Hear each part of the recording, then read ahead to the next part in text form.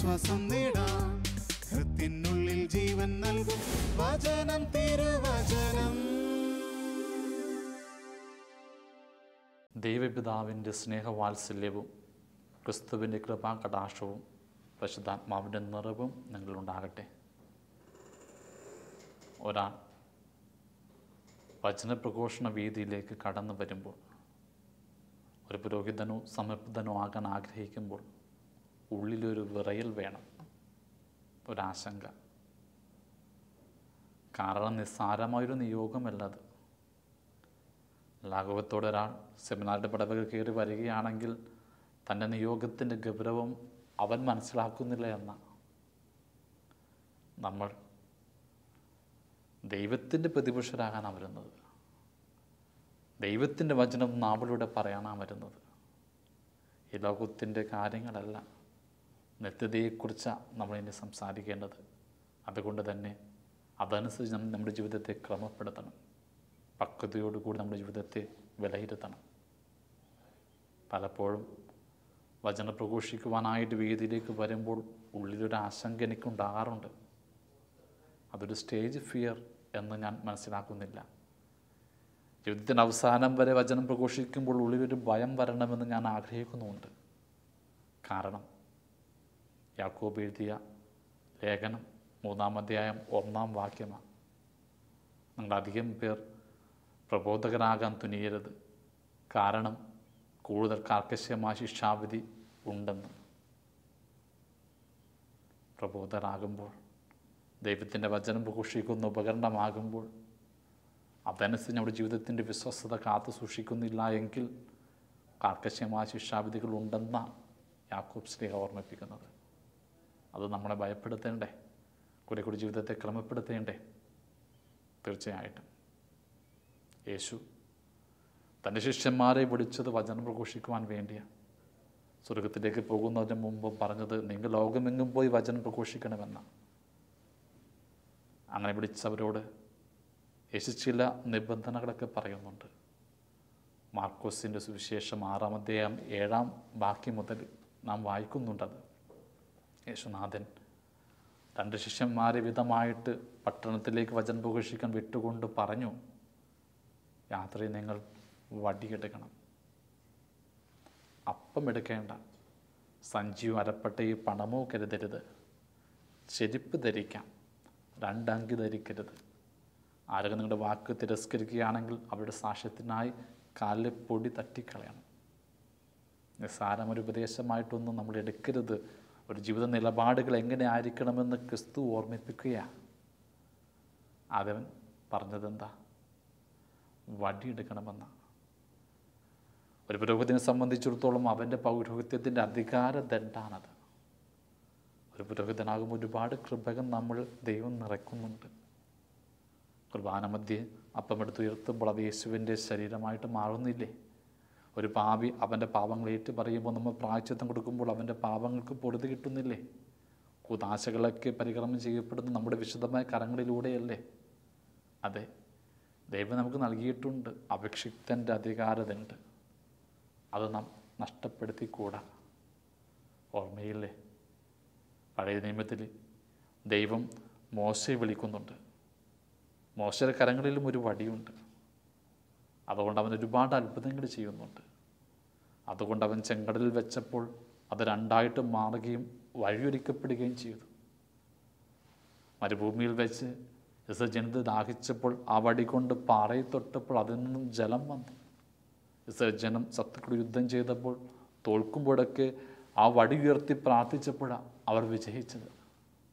ഇതുപോലെ തന്നെയാണ് ഒരു വചനപ്രഘോഷകനാകുന്ന പുരോഹിതൻ സമർപ്പിതൻ അദ്ദേഹത്തിന്റെ അധികാരം കൊണ്ട ഇസ്ര ജനത്തെപ്പോലെ തന്റെ ദൈവജനത്തെ നന്മയെ നയിക്കേണ്ടത്. തടസ്സങ്ങൾ ചെങ്കട പോലെ പലതും വരും പക്ഷെ അത് മാറ്റാനാകണം. ആത്മീയദാഹം പലതും വരും ദൈവാനുഗ്രഹത്തിന്റെ നീർച്ചോല കൊടുക്കാനാകണം. എല്ലാ തടസ്സങ്ങളും അതിജീവിക്കാനായിട്ട് നമ്മുടെ പൗരോഹിത്യത്തിന്റെ വടി കരുത്തായിട്ട് മാറുന്നുണ്ടോ? ഒരു യാത്രയിൽ വടി വടി വഴിയൊരുക്കുവാൻ ഒരു താങ്ങ് ബലമാണ് മുള്ളും കല്ലൊക്കെ മാറ്റുവാൻ ഉപകാരമാണ് ഒരു സാധാരണ മനുഷ്യനെ സംബന്ധിച്ചിടത്തോളം അദ്ദേഹത്തിന്റെ താങ്ങുബലം ജീവിത പങ്കാളിയും മക്കളൊക്കെയാണ്. പക്ഷെ ഒരു പുരോഹിതനും സമർപ്പത്തെ സംബന്ധിച്ചിടത്തോളം ദൈവം തന്നെ അവന്റെ താങ്ങുബലം എന്നൊരു തിരിച്ചറിവിന്റെ വെട്ടം അവന് വേണം. പിന്നെ യേശു ശിഷ്യന്മാരോട് പറഞ്ഞതെന്താ അപ്പം എടുക്കരുതെന്ന യാത്ര ഏതൊരു മനുഷ്യരും ആദ്യമെടുക്കുന്നത് പാതേയമാണ് അപ്പം വേണം തളർച്ച വരും. പക്ഷെ എന്തുകൊണ്ടാണ് ശിഷ്യന്മാർ എടുക്കരുതെന്ന് പറയും കാരണം സ്വയം അപ്പമായിട്ട് മാറേണ്ടവരാ ശിഷ്യന്മാർ പുരോഹിതന്മാർ സമർപ്പിതർ യേശുനാഥൻ അപ്പത്തിന്റെ ഭവനത്തിലാണ് പിറന്നത് ബത്ലഹേമിൽ അവനൊരു പ്രലോഭനമുണ്ടായി മുപ്പതാം വയസ്സിൽ മരുഭൂമിയിൽ വെച്ച് കല്ലിനെ അപ്പമാക്കാൻ. അവനതാക്കിയില്ല. കാരണം എന്താ? ഞാൻ ഈ ഭൂമിയിലേക്ക് കടന്നു വന്നത് കല്ലിനെ അപ്പമാക്കാനല്ല സ്വയം അപ്പമായി ജനങ്ങൾക്ക് കൊടുക്കാനാണെന്ന തിരിച്ചറിവിന്റെ വെട്ടം ആ പുത്രനുണ്ടായിരുന്നു. സിക്കാർ കിണറ്റിൻകരയിൽ സമരിയ സ്ത്രീയോട് സംസാരിച്ചു കൊണ്ടിരുന്നപ്പോൾ അപ്പവുമായി വന്ന ശിഷ്യന്മാർ അപ്പം കൊടുക്കാൻ പോയപ്പോൾ യേശു എന്താ പറഞ്ഞത്? എനിക്ക് മറ്റൊരപ്പമുണ്ട് പിതാവായ ദൈവത്തിന്റെ കൽപ്പനകൾ പാലിക്കുകയും അനുസരിക്കുകയും ചെയ്യുന്നതാ എന്റെ അപ്പം. ഓരോ സമർപ്പിതരും ഓരോ പുരോഹിതരും തിരിച്ചറിയേണ്ട സത്യമാണിത്. ദൈവതാവിന്റെ കൽപ്പനകൾ പാലിച്ച് സ്വന്തം ജീവിതത്തെ മറ്റുള്ളവർക്കുള്ള ജീവന്റെ അപ്പമാക്കി മാറ്റാനായിട്ട് നമുക്ക് കഴിയുന്നുണ്ടോ? കഴിയണം. അതുകൊണ്ട് തന്നെ ഈ ലോകത്തിന്റെ അപ്പങ്ങൾക്ക് പിന്നാലെ പോകരുത്. കരുതരുത് നിങ്ങളുടെ യാത്രകളിൽ അപ്പം. പിന്നെ യേശു പറഞ്ഞതെന്താ? സഞ്ചിയോ അരപ്പട്ടയോ പണമോ കരുതരുത്. ധനത്തിന്റെ പിന്നാലെ പോകരുത് എന്നാ. ദാരിദ്ര്യമെന്നൊരു വ്രതം എല്ലാ സമർപ്പിതർക്കും ഉണ്ട്. ഭൗതികമായ വസ്തുക്കളുടെ പിന്നാലെ പോകരുത്. ദൈവം തന്നെ നമ്മുടെ ഏക സമ്പത്ത്. ഓർക്കുകയാണ് നോവൽ ബസാലയൽ എന്ന നോവലിന്റെ പേര് അതിന്റെ അർത്ഥം ദൈവത്തിന്റെ തണൽ വസിക്കുന്നവനാണ്. അതിൽ പുരോഹിതനായ ഒരു യുവാവ് കുർബാന കഴിഞ്ഞ് പുറത്തേക്ക് ഇറങ്ങിയപ്പോൾ ജനങ്ങളൊന്നും ശ്രദ്ധിക്കാതെ സ്വന്തം വീട്ടിലേക്ക് പോകുന്നത് കണ്ട് സങ്കടത്തോടെ ദൈവത്തോട് പറയുന്നുണ്ട് ദൈവമേ ഈ ജനം എന്താ മനസ്സിലാക്കാത്തത്? മേടയിലെ സുരക്ഷിതത്വമല്ല ഇവിടെ മനസ്സിലൊരു ഇടമാണ് എനിക്ക് വേണ്ടതെന്ന്. സത്യത്തിൽ മനുഷ്യരുടെ ഹൃദയത്തിലല്ല ദൈവത്തിന്റെ ഹൃദയത്തിലാണ് നമുക്ക് ഇടം വേണ്ടത്. ദൈവത്തിന്റെ തണലിലാണ് നാം ജീവിക്കേണ്ടത്. ഇപ്പോൾ ഭാഷന്റെ പുസ്തകത്തിൽ പറയുന്നില്ലേ ദേശത്ത് നിനക്കൊരു ഓഹരിയും ഉണ്ടായിരിക്കുകയില്ല കർത്താവാണ് നിന്റെ ഓഹരിയും സമ്പത്തും. അതെ ദേശത്ത് നമുക്കൊരു സമ്പത്തും പാടില്ല ഒരു ധനത്തിന്റെയും പിന്നാലെ പോകരുത്. ദൈവം തന്നെയാണ് നമ്മുടെ യഥാർത്ഥ സമ്പത്ത്. ആ നമ്മുടെ ജീവിതത്തെ നവീകരിക്കേണ്ടതുണ്ട്. പിന്നെ യേശു പറഞ്ഞതെന്താ? ചെരുപ്പ് ധരിക്കാം. ചെരുപ്പ് കാലിന് സുരക്ഷിതം കൊടുക്കുന്ന ഒരു കവചമാണ് ചെടിയിലും മുള്ളിലും കല്ലിലും കാലിനെ കാത്തുകൊണ്ട് മുന്നോട്ട് നയിക്കുന്നത് ശുദ്ധതയുടെ അടയാളമാണ് ചെരുപ്പ്. അതോർത്തപ്പത്തിന്റെ ഉപമയിൽ ഒരുപാട് ചെളിക്കൂട് നിറഞ്ഞ ജീവിതത്തിൽ നിന്നും ആ പന്നിയുടെ കൂട്ടിൽ നിന്നും മോശപ്പെട്ട ജീവിതത്തിൽ നിന്നും ആ ദൂത്തമകം തിരികെ വന്നപ്പോൾ പിതാവ് കൊടുത്തതെന്താ? ചെരുപ്പ. ചെരുപ്പ് ധരിപ്പിച്ചു. സുരക്ഷിതത്വം കൊടുത്ത്. നമ്മുടെ ജീവിതത്തിൽ വേണം ആ ഒരു ശുദ്ധത. ദൈവം തന്നെ ആ കവചമെന്ന തിരിച്ചറിവിന്റെ വെട്ടം നമുക്ക് വേണം. മോശപ്പെട്ട അഴുക്ക് ചാലിലൂടെ ഒരു പുരോഹിതൻ വീണ് പോയിക്കൂടാ. തെറ്റിന്റെ മലിനതകൾക്ക് ദേഹത്തെ അശുദ്ധമാക്കിക്കൂടാ. നമ്മുടെ വ്രതങ്ങളൊക്കെ സത്യത്തിൽ ഈ ലോകത്തിന്റെ മലിനതകൾ നമ്മളെ സംരക്ഷിക്കുന്ന കവചമാണെന്ന തിരിച്ചറിവിന്റെ വെട്ടം നമുക്ക് വേണ്ടേ? അതുകൊണ്ട് തന്നെയാ യേശു ആ ശിഷ്യന്മാരെ വചനഭൂഷിക്കാൻ വിട്ടപ്പോൾ പറഞ്ഞത് ചെരുപ്പ് ധരിക്കാം. വീണ്ടും അവിടുന്ന് പറഞ്ഞു രണ്ട് അങ്കി ധരിച്ചുകൂടാ. അങ്കി ഒരുവന്റെ വ്യക്തിത്വത്തിന്റെ അടയാളമാണ് യേശുനാഥൻ താബോർ മലയിൽ തന്റെ ദൈവികത പുറത്തു വന്ന് തന്റെ അങ്കിയിലൂടെയാണ്. വചനം പറയുന്നു തൂമഞ്ഞു പോലെ അവന്റെ വസ്ത്രം ശോഭിച്ചുവെന്ന്. പിന്നെ നാം കാണുന്നുണ്ട് അവന്റെ വങ്കി അങ്കിയിൽ ഒരു രക്തസാവക്കാൽ തൊട്ടപ്പോൾ സൗഖ്യമുണ്ടായി. അവന്റെ വ്യക്തിത്വത്തിന്റെ ദൈവികത അവളിലേക്ക് കടന്നു വന്നു. ഒരു മരിക്കുമ്പോൾ പോലും അവന്റെ നീണ്ട അങ്കി ആരും ഭേദിച്ചില്ല. വ്യക്തിത്വത്തിന്റെ പ്രകടമായിട്ട്. ഒരു പുരോഹിതനെ സംബന്ധിച്ചിടത്തോളം അവന്റെ വ്യക്തിത്വത്തിന്റെ തെളിവാണ് അവന്റെ വിശുദ്ധമായ അങ്കി. അത് രണ്ട് പാടില്ലെന്നാണ് പറയണം. പൗരോഹിത്വത്തിന്റെ വ്യക്തിത്വം എപ്പോഴും കാത്തു സൂക്ഷിക്കണമെന്ന്. നോക്കുക. കൊച്ചു കൊച്ചു വാക്കുകൾ യേശുനാഥൻ തന്റെ ആധിഷ്യന്മാരെ വചനം പ്രഘോഷിക്കാൻ വിട്ടപ്പോൾ ഓർമ്മിപ്പിച്ച ചില നിബന്ധനകളാണ് വടിയെടുക്കുക. അപ്പം എടുക്കരുത് സഞ്ചു പണമോ കരുതരുത്. ശരിപ്പ് ധരിക്കാം. രണ്ട് അങ്കി ധരിച്ചുകൂടാ. ഞാനൊരു പ്രബോധകനായിട്ട് വരുമ്പോൾ വചനം പ്രഘോഷിക്കാൻ പീഠത്തിലേക്ക് വരുമ്പോൾ എന്റെ ജീവിതക്രമം ഇങ്ങനെയാണോ എന്ന് ഞാൻ തന്നെ ആത്മാപരിശോധന ചെയ്യണം. അത് ചിന്തിക്കുമ്പോൾ ഉള്ളിലൊരു പേടി വരും ഭയം വരും. നമ്മുടെ ജീവിതത്തെ കുറച്ചുകൂടി ഗൗരവത്തിലെടുക്കാനായിട്ട് അത് പ്രചോദിപ്പിക്കണ്ടേ കാലം വളരെ മോശമാണ്. പുരോഹിതരുടെ ഇടർച്ചയെക്കുറിച്ചുള്ള ഫലിത കഥകൾ ചുറ്റും പെരുകിക്കൊണ്ടിരിക്കുക മാധ്യമങ്ങളൊക്കെ അത് ഘോഷിച്ചു കൊണ്ടിരിക്കുക ലോകം ഒരുപാട് കുത്തുവാക്കുകളുമായിട്ട് ചുറ്റും നിറയുക എന്തുകൊണ്ടാണ്? വിശ്വാസികൾ മാത്രമല്ല ലോകം മുഴുവനും പ്രതീക്ഷിക്കുന്നുണ്ട് നമ്മൾ കുറേ കൂടി ശ്രേഷ്ഠമായിട്ട് ജീവിക്കണമെന്ന്. അവിടെ പ്രതീക്ഷകൾ തകരുമ്പോഴാണ് അവരിങ്ങനെ കുത്തുവാക്കുകളുമായിട്ട് നിറയുന്നത്. അവർ നമ്മളെക്കുറിച്ചുള്ള ധാരണയാണ് ഓർമ്മിപ്പിക്കുന്നത്. അതുകൊണ്ട് തന്നെ നാം നമ്മുടെ ശ്രേഷ്ഠത വീണ്ടെടുക്കണം. യേശു അവസാനം പറഞ്ഞു എന്റെ വാക്കുകൾ ആരെങ്കിലും കേൾക്കാതെ പോയാൽ ഓർമ്മയ്ക്കായിട്ട് നിങ്ങളുടെ ചെരുപ്പിൽ പൊടി അവിടെ തട്ടിക്കളയണമെന്ന്. അതൊരു സൂചനയാണ്.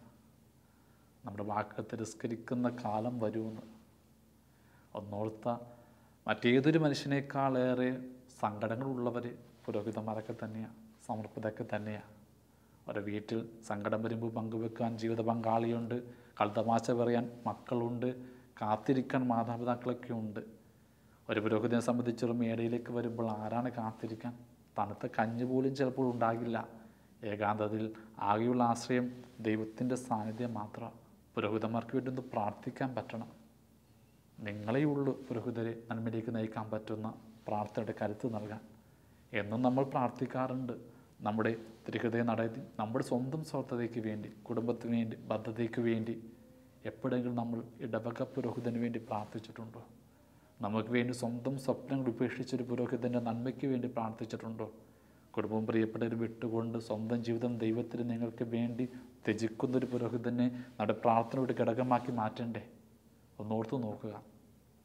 നിങ്ങൾ ജനിക്കുമ്പോൾ ഞാൻ സ്നാനം തന്ന് നിങ്ങളെ തിരുസഭയുടെ മക്കളാക്കുവാൻ ഒരു പുരോഹിതി നിങ്ങൾക്ക് ആവശ്യമില്ലേ? കുറേ കൂടി വളർന്നു കഴിയുമ്പോൾ പുതിയ വസ്ത്രമൊക്കെ ധരിച്ച് അൾത്താലിലേക്ക് വരുമ്പോൾ നിങ്ങളുടെ നാവിലേക്ക് തിരുവോസ്തി തരുവാൻ ആദ്യ കുർബാന തരുവാനായിട്ട് നിങ്ങൾക്കൊരു പുരോഹിതൻ ആവശ്യമില്ലേ? യൗവനത്തിൽ പാവടിയിലേക്ക് ഇടറി പോകുമ്പോൾ മനസ്തപിച്ച് ആ പാപങ്ങൾ ഏറ്റുപറയുമ്പോൾ അതിന് പരിഹാരം ചെയ്യുവാൻ കുമ്പസാരക്കൂട്ടിൽ നിങ്ങൾക്കൊരു പുരോഹിതൻ ആവശ്യമില്ലേ? യുവാവൊക്കെ ആയി കഴിയുമ്പോൾ ഒരു ജീവിത പങ്കാളിക്ക് വേണ്ടി നിങ്ങൾ മോഹിക്കുമ്പോൾ ജീവിത പങ്കാളി നിങ്ങളുടെ കരങ്ങൾ വെച്ച് തന്ന് വിവാഹം വിവാഹമെന്ന കൂതാശയുള്ള ആസ്വാദം തരുവാൻ നിങ്ങൾക്കൊരു പുരോഹിതൻ ആവശ്യമില്ലേ? കുടുംബത്തിൽ പ്രശ്നങ്ങളും സംഘർഷങ്ങളും ഉണ്ടാകുമ്പോൾ ആത്മീയ ഉപദേശത്തിന് വേണ്ടി നിങ്ങൾ എത്ര പുരോഹിതന്മാരെ സമീപിക്കുന്നു? ഒടുവിൽ രോഗിയായി കിടക്കുമ്പോൾ രോഗി ലേപനം തരാൻ മരിക്കുമ്പോൾ നിങ്ങൾ ആത്മാവിന് മുക്തിക്ക് വേണ്ടി പ്രാർത്ഥിക്കുവാൻ നിങ്ങൾക്ക് പുരോഹിതൻ ആവശ്യമില്ലേ? ജനനം മുതൽ മരണം വരെ ആത്മീയ കരുത്തായിട്ട് പുരോഹിതൻ നിങ്ങൾക്ക് വേണം എങ്കിൽ പുരോഹിതൻ വീഴാതിരിക്കാൻ വേണ്ടി കൂടി നിങ്ങൾ പ്രാർത്ഥിക്കണ്ടേ. നിങ്ങളുടെ പ്രാർത്ഥനകൾ ഉണ്ടാകണം പുരോഹിതന്റെ ഓർമ്മകൾ. സഭയിൽ ഒരുപാട് വിള്ളലുകൾ സംഭവിച്ചുകൊണ്ടിരിക്കുക. പുരോഹിതർ വീഴ്ചകൾ അനേകരുടെ വിശ്വാസ ലംഘനമായിട്ട് മാറിക്കൊണ്ടിരിക്കുക. തീഷ്ണതയോടെ പ്രാർത്ഥിക്കുക. ഒപ്പം പുരോഹിതരെന്ന നിലയിൽ നമ്മളും ഓർക്കണം. ശ്രേഷ്ഠമായൊരു നിയോഗമാണ് നാം പേറുന്നത്. അതിന്റെ പക്വതയും ഉത്തരവാദിത്വവും നമ്മളും കാണിക്കണം. എല്ലാവരും പ്രബോധകരാകാൻ തുനിയരുത് കാരണം കൂടുതൽ കാർക്കശമ ശിക്ഷാവധി ഉണ്ടെന്ന യാക്കോബ്സിലേക്ക് ഓർമ്മിപ്പിക്കുന്നത്. സത്യം. ക്രിക്കറ്റിനെ കുറിച്ചോ മാർക്കറ്റിനെ കുറിച്ചോ പൊളിറ്റിക്കൽ തന്ത്രം കുറിച്ചോ ഒന്നുമല്ല നമ്മൾ അത്താളിൽ നിന്ന് പ്രസംഗിക്കേണ്ടത്. ദൈവത്തെക്കുറിച്ചാണ്. ദൈവത്തിന്റെ വചനമാണ് നാം വ്യാഖ്യാനിക്കേണ്ടത് അതാണ് നാം പങ്കുവയ്ക്കേണ്ടത്. ഉദാത്തമായ കാര്യങ്ങൾ നാം ചെയ്യുന്നത്. നാം പറയുന്ന വാക്ക് നാം പാലിക്കുന്നുണ്ടോ? ഉദാത്തമായ കാര്യങ്ങൾ പറയുമ്പോൾ അതനുസരിച്ച് നമ്മുടെ ജീവിതത്തെയും ക്രമപ്പെടുത്തണം. മദ്യപാന ശീലത്തെക്കുറിച്ച് നാം വചനം കൂട്ടിച്ചിട്ട് അതിന്റെ ദുശ്ശീലങ്ങളിലേക്ക് നാം പോയാലോ? സമ്പത്തിന്റെ മോശാവസ്ഥയെക്കുറിച്ച് പറഞ്ഞിട്ട് ആർഭാടം നിറഞ്ഞ ജീവിതം നാം നയിച്ചാലോ? പ്രാർത്ഥനയെക്കുറിച്ച് പ്രസംഗിച്ചിട്ട് നമ്മുടെ ജീവിതത്തിൽ പ്രാർത്ഥന ഇല്ലാതെ പോയാലോ? അതാണ് തെറ്റ്. പറയുന്ന വാക്കുകൾ ജീവിതത്തെ പ്രാപ്തികമാക്കാനാണ് ഓരോ പുരോഹിതനും വചനപ്രഘോഷകനും ശ്രമിക്കേണ്ടത്. ഓർക്കുക ദൈവത്തെക്കുറിച്ച് പറയുന്ന എല്ലാ വാക്കും ഒരു നാം ദൈവത്തിന് നാം കണക്കായിട്ട് കൊടുക്കേണ്ടി വരും. വാട്സാപ്പിൽ നാം അയക്കുന്ന ചെറിയൊരു മെസ്സേജ് ഫേസ്ബുക്കിൽ നാം അയക്കുന്ന ചെറിയൊരു ഫോട്ടോ ചെറിയ കമന്റ് കുത്തുവാക്കും കുറ്റാരോപണം എല്ലാത്തിനും നാം കണക്ക് പറയേണ്ടി വരും. അതുകൊണ്ട് വചനപ്രഘോഷകനാകാൻ നാം വരുന്നുണ്ടെങ്കിൽ പുരോഹിതനാകണം സെമിനാറുടെ പടവുകൾ കയറുന്നുണ്ടെങ്കിൽ ഉള്ളിൽ അല്പം ഗൗരവവും വേണം ഒരു വിറയൽ വേണം കുറേ കൂടി പക്വതയോടുകൂടി ഈ പൗരോഹിത ജീവിതത്തെ സമീപിക്കുവാൻ. ഓരോ പുരോഹിതരും അവരുടെ ശ്രേഷ്ഠത മറന്നുകൂടാ. വിശുദ്ധ ഫ്രാൻസിസ് പറഞ്ഞിട്ടില്ലേ ദൈവദൂതരും പുരോഹിതരും മുമ്പിൽ വരുമ്പോൾ ഞാൻ ആദ്യം പുരോഹിതനെ വണങ്ങുന്നു. കാരണം പുരോഹിതൻ ദൈവത്തിന്റെ ക്രിസ്തുവിന്റെ പ്രതിപുരുഷനാണ്. ഓർക്കുക മറ്റൊരു സംഭവം. ഫാൻസസിയുടെ ജീവിതത്തിൽ തന്നെ പാപത്തിൽ പിടിക്കപ്പെട്ട ഒരു പുരോഹിതനെ ജനം കൊണ്ടുവന്നു. ശിക്ഷിക്കണമെന്ന് ഫാൻസസിയോട് പറഞ്ഞു. ഫ്രാൻസിസി ആകട്ടെ ആ പുരോഹിതന്റെ അടുത്തേക്ക് കടന്നു വന്നു. ജനങ്ങൾ വിധി കാത്തു നിൽക്കുക അദ്ദേഹം പുരോഹിതന്റെ കരങ്ങൾ എടുത്തു ചുംബിച്ചിട്ട് പറഞ്ഞു ഇദ്ദേഹം പാപം ചെയ്തു ഇല്ലയോ എന്ന് എനിക്ക് അറിഞ്ഞുകൂടാ പക്ഷേ എന്നും ക്രിസ്തുവിന് സ്വർഗത്തിൽ നിന്ന് ഭൂമിയിലേക്ക് കൊണ്ടുവരുന്ന കരങ്ങളാണ് ഇതിനെനിക്ക് ചുംബിക്കാനേ ആകൂ അത് കേട്ട് അദ്ദേഹത്തെ വിധിക്കാൻ തീരുമാനിച്ച ജനങ്ങൾ സങ്കടത്തോടെ മാനസാന്തരപ്പെട്ട് തിരികെ പോയി. ആ പുരോഹിതനും ചിന്തിച്ചു സത്യമല്ലേ? എല്ലാ പ്രഭാത ബലികളിലും സ്വർഗത്തിൽ നിന്നും ക്രിസ്തുവിന്റെ ഭൂമിയിലേക്ക് കൊണ്ടുവരേണ്ട കരങ്ങളല്ലേ ഇത്? ഇത് മലിനമായി കൂടാ. അദ്ദേഹവും മാനസാന്തരപ്പെട്ടു. ഈ ഒരു തിരിച്ചറിവ് നമുക്ക് വേണ്ടത് അനുദിനം പുരോഹിതൻ സമർപ്പിതൻ എന്ന നിലയിൽ നമ്മുടെ കൃപ നിയോഗം നാം തിരിച്ചറിയണം. ജീവിതം ശുദ്ധമാകണം.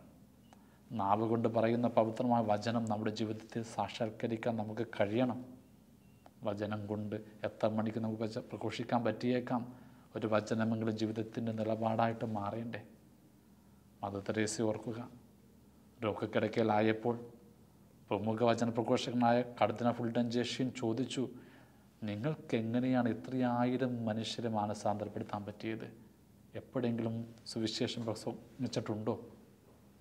രോഗക്കിടക്കയിലായിരുന്ന മദർ തെരേസ പറഞ്ഞു ഒരിക്കൽ പോലും ഞാൻ വചനം പ്രഘോഷിച്ചിട്ടില്ല. പക്ഷേ എന്റെ അടുത്തൊരു രോഗി വരുമ്പോൾ അദ്ദേഹത്തിന്റെ മുറിവുകൾ സ്നേഹത്തോട് ഞാൻ പരിചരിക്കുമ്പോൾ വെറുതെ ചോദിക്കും നിങ്ങൾക്ക് ക്രിസ്തുവിനെക്കുറിച്ച് അറിയണമോ എന്ന്. അപ്പോൾ ആ രോഗി എന്നോട് ചോദിക്കും ക്രിസ്തു ആരാ? അമ്മ സ്നേഹിക്കുന്നത് പോലെ അവൻ എന്നെ സ്നേഹിക്കുമോ? അപ്പോൾ മധുദേശ പറയും ഇല്ല. സത്യത്തിൽ അവൻ സ്നേഹിക്കുന്നത് പോലെ ഞാൻ നിന്നെ സ്നേഹിക്കാനായിട്ട് ശ്രമിക്കുക മാത്രമാണ്. അത് കേൾക്കുമ്പോൾ ആ രോഗി പറയും എനിക്കൊരു ക്രിസ്ത്യാനിയാകണം.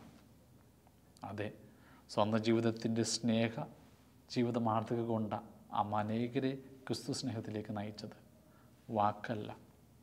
ജീവിതമാണ് ഏറ്റവും വലിയ പ്രഘോഷണം. യേശുനാഥൻ ആ ശിഷ്യന്മാരെ വചനം പ്രഘോഷിക്കാൻ വിട്ടുകൊണ്ട് നിങ്ങൾ എന്ത് പ്രസംഗിക്കണമെന്ന് പറഞ്ഞില്ല. എങ്ങനെ ജീവിക്കണമെന്നാണ് പറഞ്ഞത്? വടിയെടുത്ത്. അപ്പം കരുതാതെ സഞ്ചിയോ പണമോ കരുതാതെ ചെരുപ്പ് ധരിച്ച് രണ്ടങ്കി ധരിക്കാതെ നിങ്ങൾ കടന്നു പോവുക നിങ്ങളുടെ ജീവിതം തന്നെ ഏറ്റവും വലിയ വചന പ്രഘോഷണമാകുമെന്ന് എല്ലാ വചനപ്രഘോഷകർക്കും പുരോഹിതർക്കും സമർപ്പിതർക്കുമുള്ളൊരു മാതൃകയാണിത്. നിങ്ങളുടെ ജീവിതം തന്നെയാണ് ഏറ്റവും വലിയ വചനപ്രഘോഷണം. നമ്മുടെ ശ്രേഷ്ഠത നാം മനസ്സിലാക്കണം. ഒരു പുരോഹിതൻ ലോകത്തിന്റെ പ്രലോഭനങ്ങൾ വന്നപ്പോൾ തീരുമാനിച്ചു. പൗരോഹിത്യ വിധി ഉപേക്ഷിച്ചു കൊണ്ടുപോകാമെന്ന്.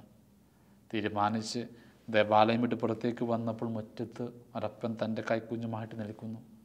പുരോഹിതന്റെ അടുത്ത് വന്നിട്ട് പറഞ്ഞു അച്ഛൻ എന്റെ കുഞ്ഞിനെ ആശീർവദിക്കണം.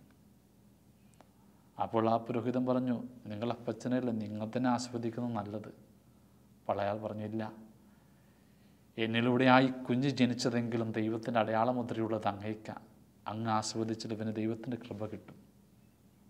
അച്ഛൻ ആ കുഞ്ഞിനെ ആസ്വദിച്ചു പിന്നെ ദേവാലയത്തിലേക്ക് കടന്നുപോയി ആ താഴിലേക്ക് നോക്കിയിട്ട് പറഞ്ഞു ശ്രേഷ്ഠമായ പൗരോഹിത പദവി ഉപേക്ഷിച്ചുകൊണ്ട് പോയാൽ എനിക്കും ദുരന്തം. ഞാൻ പോകില്ല. നിന്റെ വിശ്വസ്തനായ ദാസനായിരിക്കും ഞാൻ. അതെ ലോകം ആഗ്രഹിക്കുന്നുണ്ട്. കുറേ കൂടി നന്മ നിറഞ്ഞ പുരോഹിതനായിട്ട് നമ്മൾ മാറണമെന്ന്. ദൈവം ആഗ്രഹിക്കുന്നുണ്ട്. കുറേ കൂടി വിശുദ്ധമായ ജീവിത നിലപാട് നാം നയിക്കണമെന്ന്. ചുറ്റും പ്രശ്നങ്ങളാണ് എങ്കിലും നമുക്ക് സ്വയം വിലയിരുത്താം. നമ്മുടെ ജീവിതത്തെ നവീകരിക്കാനായിട്ട് നമുക്ക് പരിശ്രമിക്കാം. പ്രത്യേകമായിട്ട് ഈ സഭയിലെ പുരോഹിതരെയും വചനപ്രഘോഷകരെയും സമർപ്പിച്ച് നമുക്ക് പ്രാർത്ഥിക്കാം. യാക്കോബിസിലായ വാക്കുകൾ ഓർക്കാം. അധികം പേർ പ്രബോധകരാകാൻ തുനിയരുത് കാരണം കൂടുതൽ കർക്കശമായ ശിക്ഷാവിധി അവർക്കുണ്ട്. ദൈവമേ നിന്റെ വചനം നാവിൽ രൂപപ്പെടുമ്പോൾ കുറേ കൂടി പക്വതയോടുകൂടി ആ വാക്കിനെ അനുഗമിച്ച് ജീവിതം നയിക്കുവാൻ കഴിവ് എനിക്ക് തരിക. എന്റെ സഹപുരോഹിതന്മാർക്ക് തരിക. ഞങ്ങളുടെ ജീവിതം തന്നെ ഏറ്റവും വലിയ സുവിശേഷം സുവിശേഷമായിട്ട് മാറ്റുവാനുള്ള കരുത്ത് നിങ്ങൾക്ക് തരിക. ഒപ്പം വിശ്വാസ ജനമേ പുരോഹിതർ ഇടറാതിരിക്കാൻ ഞങ്ങളുടെ പ്രാർത്ഥനയുടെ ബലം ഞങ്ങൾക്ക് തരിക. ദൈവമേ നിഴലായി എന്ന് ഞങ്ങളുടെ കൂടെ ഉണ്ടാകണമേ. തിരുസഭയ്ക്ക് ജനനം മുതൽ മരണം വരെ എല്ലാ വിശ്വാസികൾക്കും പ്രകാശത്തിന്റെ കരുത്താകാൻ ഓരോ പുരോഹിതരെയും അനുഗ്രഹിക്കണമേ. ആമേൻ.